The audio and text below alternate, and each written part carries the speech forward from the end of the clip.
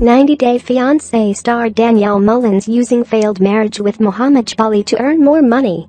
The controversial 90 Day Fiancé reality series definitely has a lot of couples that provides constant drama, but Danielle Mullins' train wreck marriage to Mohammed Jabali got the most attention. Although she initially shed a lot of tears over her failed marriage to the much younger Tunisian, it seems that Danielle has now gotten something good out of it, and people started wondering about her motive.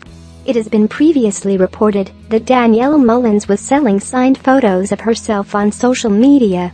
While she is nowhere near the popularity of some reality stars like Kim Kardashian and Kylie Jenner, her signed memorabilia were quickly sold out after her posting. In fact, the 90 Day Fiancé star will be selling more items after the success of her autographed photos. Since Danielle Mullins has not mentioned about what kind of products she will be selling soon, a fan suggested that she should sell t-shirts with her popular catchphrases from the show. It seems that things are finally looking great for Danielle Mullins. With her new business venture, it looks like the 90 Day Fiancé star is finally moving forward from her traumatic relationship with Muhammad Jabali. However, critics quickly slammed Danielle Mullins for seemingly using her appearance on 90 Day Fiancé to earn more money outside the TLC show.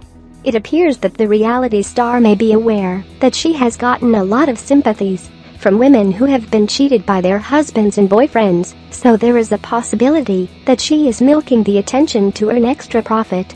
Despite the overwhelming support for Danielle Mullins' signed pictures, some viewers were puzzled on who would ever want a copy of the 90 Day Fiancé star's photo. Meanwhile, Danielle Mullins and Mohammed Jabali's feud is still far from over.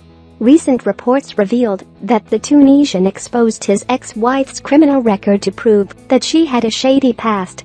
It can be recalled that Mohammed Jabali accused Danielle Mullins of using his credit card and a fake account in his name. Since he was the one that not everyone thought was using Danielle at the time, nobody really believed him. Shockingly, Danielle Mullins recently admitted to Mohammed Jabali's claims. What do you think?